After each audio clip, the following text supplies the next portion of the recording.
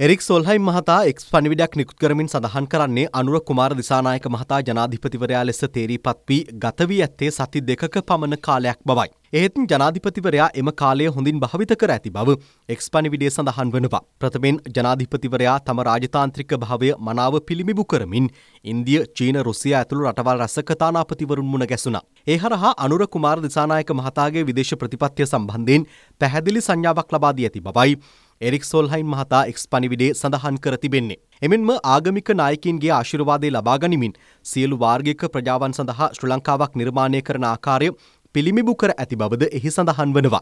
අධ්‍යාපන සෞඛ්‍ය හා දුප්පතුන්ගේ තත්ත්වය ඉහළ නැංවීමට අවශ්‍ය සම්පත් ගෙනීමට හා සමෘද්ධිමත් ලංකාවක් බිහි කළ හැක්කේ ව්‍යාපාර සමග සමීපව කටයුතු කිරීමෙන් පමණක් බවත් ව්‍යාපාරික ප්‍රජාවට ජනාධිපතිවරයා පෙන්වා දී ඇති බවයි එරික් සෝල්හයිම් එක්ස් පනිවිඩෙන් සඳහන් කර තිබෙන්නේ. අනුර කුමාර දිසානායක ජනාධිපතිවරයා රාජ්‍ය බලයට දූෂිත නොවන හරයක් එක්කර ඇති බවද එහි සඳහන්. එමෙන්ම දේශපාලඥයින්ට ලබා දෙන දීමනා පහළ දැමීම හරහා නායකයෙකුට අවශ්‍ය නිහතමානී ජීවන රටාව පෙන්නුම් කර ඇති බවද සොල්හයිම් තම එක්ස් පනිවිඩේ සඳහන් කර තිබෙනවා. කෙසේ වුවද ජනාධිපතිවරයාගේ මෙම ක්‍රියාකලාපය හරහා ඔහු හොඳ ආරම්භයක් ගෙන ඇති අතර සාමකාමී බහවාර්ගික හරිත හා සමෘද්ධිමත් ශ්‍ර ලංකාවක් ගොඩනැගීමට අවශ්‍ය සහය ලබාදිය යුතු බවට එම එක්ස් පනිවිඩේ සඳහන්.